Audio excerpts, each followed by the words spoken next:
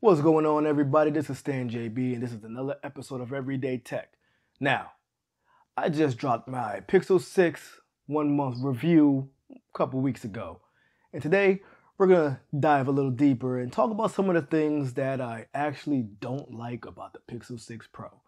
So, this is my video of five things I hate about the Pixel 6 Pro.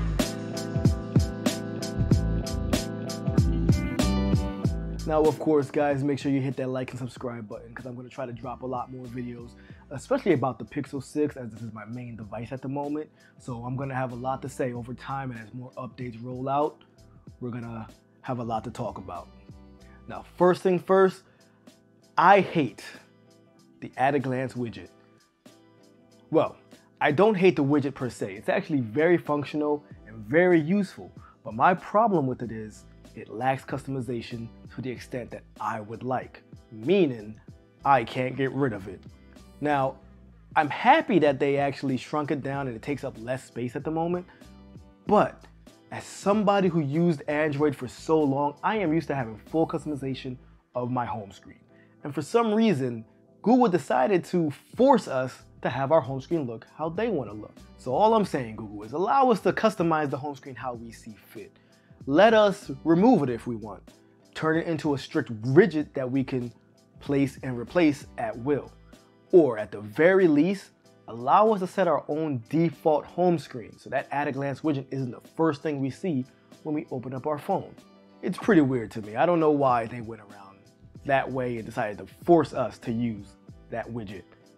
Also, honorable mention for this part, that bottom search bar. There's enough ways to search on a Android and we don't need one permanently at the bottom of our phone.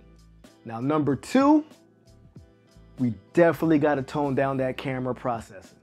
Now, don't get me wrong, the camera is amazing on the Pixel 6 and Pixel 6 Pro, but the problem is it still seems to assume we're using the older 12 megapixel camera lens.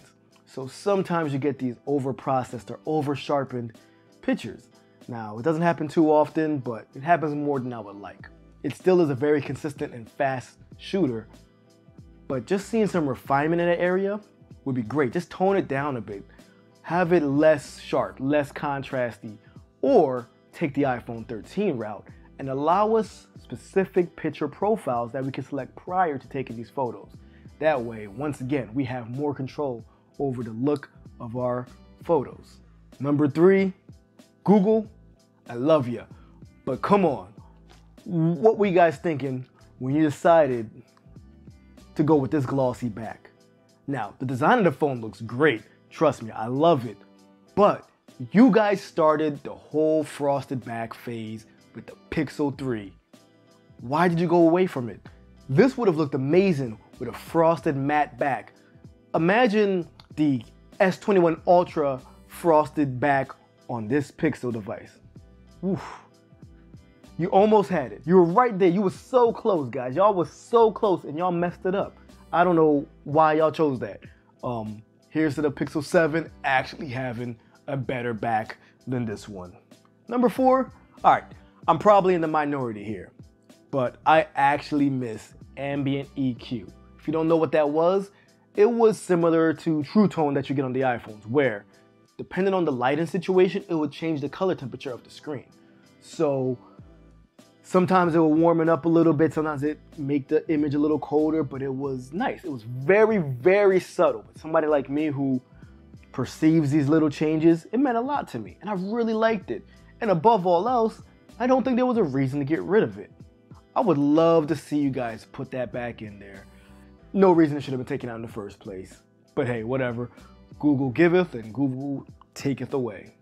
Now, my fifth and final hate has to be somewhat of a two parter because to have one, you have to have the other.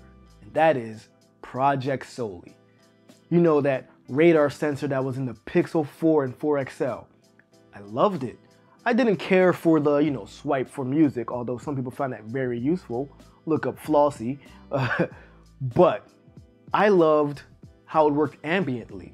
So when I wasn't thinking about it, it was affecting my usage and my experience with the Pixel software. For one, reach and it would light up my always on display. That meant I didn't have to have my always on display on at all times. But as soon as I went to see what was going on, on my phone, it would let me know. Amazing. Simple and amazing. But the biggest benefit of that Soli radar sensor was face unlock. Guys, I don't know if you ever used the Pixel 4 and 4 XL, but it had the fastest, smoothest face unlock of any smartphone in my personal experience. I loved it. It was great. That's something I was really, really hoping would come back with the Pixel 6 and Pixel 6 Pro.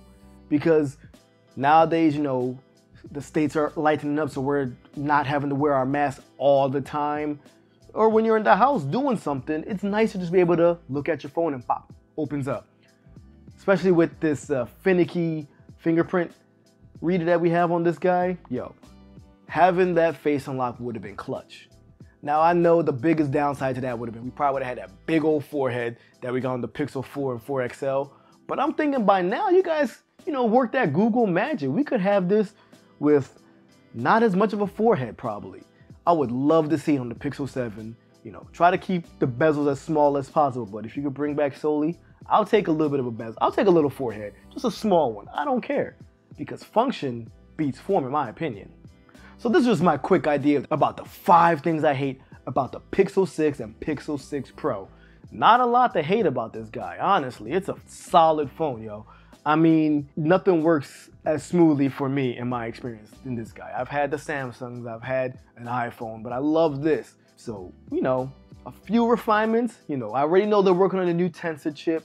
So hopefully when the Pixel 7 and 7 Pro comes out, we could get some better, amazing devices. And I'm gonna add one little thing to my Pixel 7 and Pixel 7 Pro wish list. If you're gonna come out with a Pro version, have it at 5.8 to 6 inches and a 6.7. Go the Apple route. Allow us to decide if we wanna use a big old Pro or a more compact Pro that's that's the bonus one for you guys. So let me know what you think. Let me know what you wish would change with the Pixel 6 and Pixel 6 Pro, and let me know what you want to see in the new Pixel 7. I'm going to also try to drop my five favorite things about this device, so stay tuned, hit that bell, and I'll catch you in the next video. Peace.